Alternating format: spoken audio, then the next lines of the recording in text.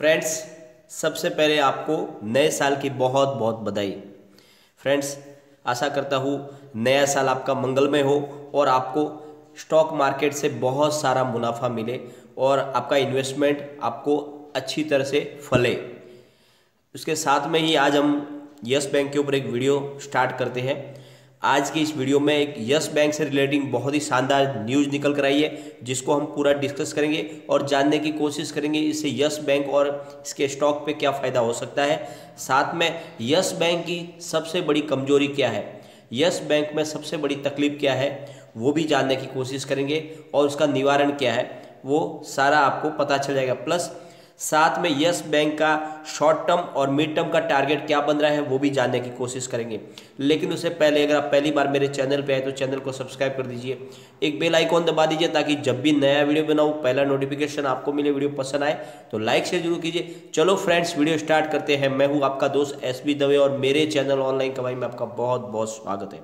Friends Diwali को मुहूर्त trading में एक घंटे के लिए ट्रेडिंग हुई थी और जिसमें यस बैंक के अंदर भी अच्छी खासी वॉल्यूम देखने को मिली थी और 14.57 पर करीब 1.53 परसेंट अप पर क्लोजिंग दी है और ये जो क्लोजिंग है, ये लगातार आठवें दिन इसकी पॉजिटिव क्लोजिंग हुई है। ये बहुत अच्छी बात है यस बैंक के लिए।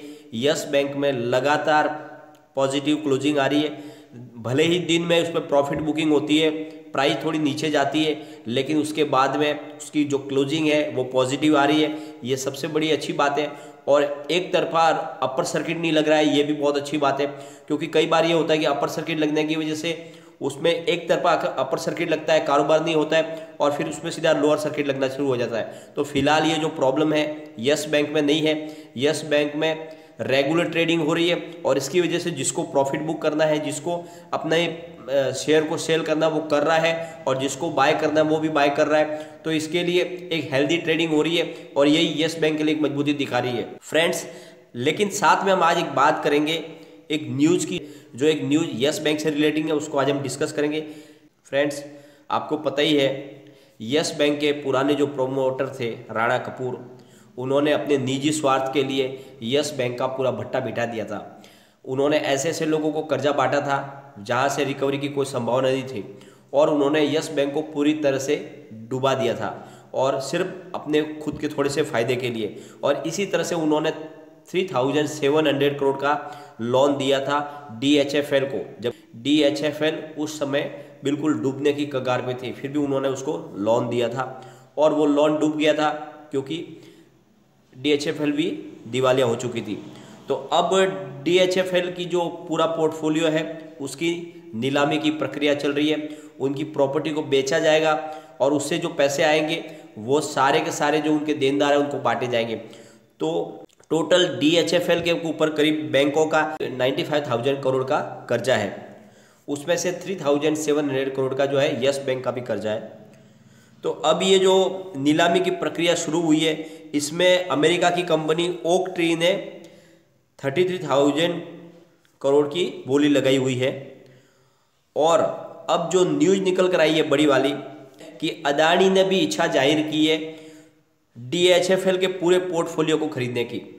अदानी ने कहा है कि हम ये पूरा पोर्टफोलियो खरीदना चाहते हैं, यानी ये जो डीएचएफएल की जो बोली लगाई हुई है, ओक ट्री, उसकी उससे ज़्यादा बोली लगा के, यानी 250 से 300 करोड़ रुपए और बढ़ा के अदानी ग्रुप इसको खरीदना चाहता है डीएचएफएल की पूरी की पूरी पोर्टफोलियो को। अदानी ग्रुप ने कमेटी ऑफ़ क्रेडिटर्स, यानी सीओसी को लेटर लिखकर कहा है कि हम बोली लगाना चाहते हैं इसमें पोर्टफोलियो खरीदने के लिए।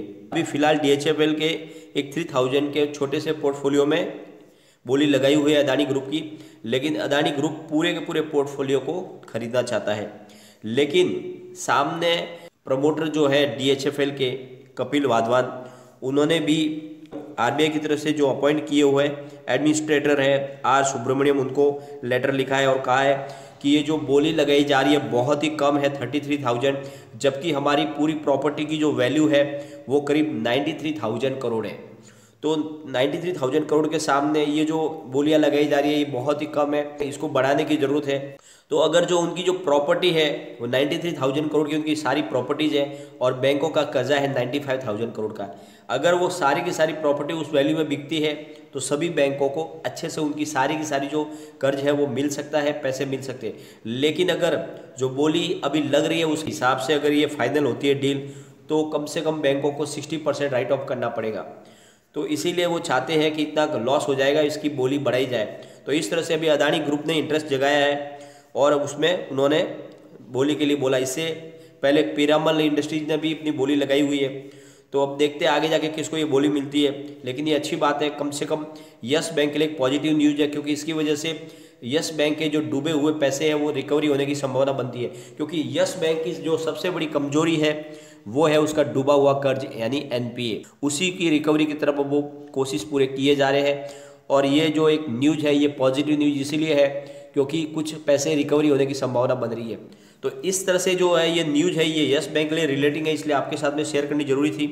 साथ में फ्रेंड्स अब यस बैंक के कामकाज की बात करते हैं। यस बैंक की जो अब ट्रेडिंग जो चल रही है, वो हो गई है फोर्टीन पॉइंट फाइव सेवन यानी करीब फिफ्टीन रुपीज़ के आसपास इसकी ट्रेडिंग आ चुकी है। और अगर ये ट्यूसडे के दिन, ये फिफ्टीन के ऊपर अगर खुलता है तो आप समझ लीजिए इसमें एक नई तेज़ी की संभावना बन जाएगी, क्योंकि फिर ये ट्रेड करेगा फिफ्टीन से ऊपर। तो फिर ये शॉर्ट टर्म में ये सेवनटीन तक जा सकता है।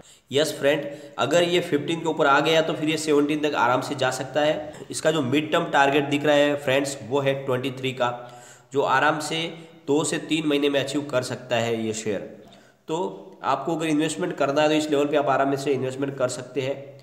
लेकिन फ्रेंड्स कोई भी इन्वेस्टमेंट करने से पहले अपने फाइनेंशियल एडवाइजर से एक बार एडवाइस ले लें या अपना खुद का रिसर्च करें, क्योंकि मैंने वीडियो आपके एजुकेशनल पर्पज़ के लिए ही बनाया वीडियो पसंद आए तो लाइक शेयर ज़रूर कीजिए और चैनल को सब्सक्राइब कर दीजिए। Thank you friends